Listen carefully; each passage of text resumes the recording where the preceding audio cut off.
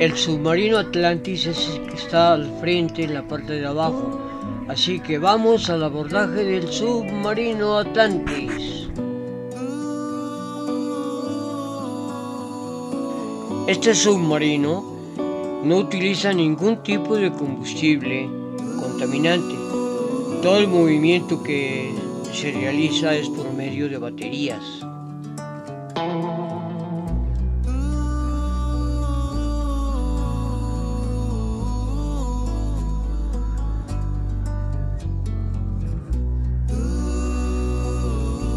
En este momento precisamente estamos pasando por uno de los sitios más hermosos para bucear.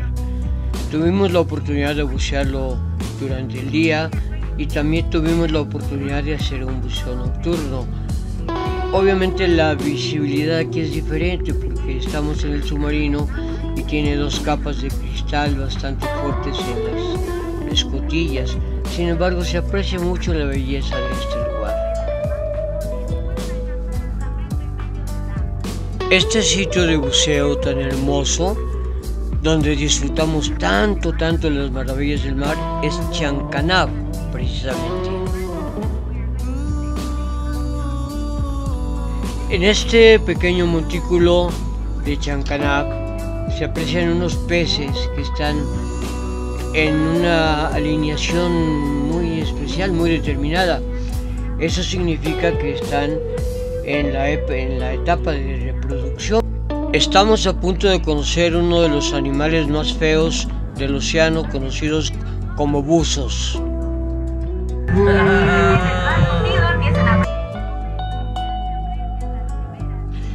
Las primeras vistas de este barco, llamado Felipe Jicotencatl, conocido como el C-53.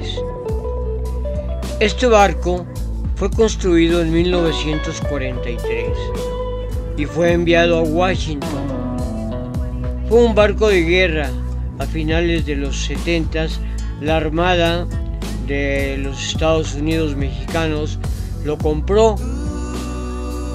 Se convirtió en un cañonero, pero fue hasta el año 2000 que decidieron donarlo y hundirlo con el único propósito de crear un arrecife artificial. Aparte de crear un arrecife artificial, pues están incrementando el turismo, ya que estamos viendo en la pantalla a esos valerosos hombres que se dedican a un deporte donde arriesgan su vida en cada incursión que hacen en el mar y son los llamados animales feos, los buzos. Bueno, pues será por la ropa que usamos y el tanque que traemos. Pero hay algunos guapitos y guapitas. Realmente es muy hermoso este barco eh, y ha sido muy exitoso, muy visitado.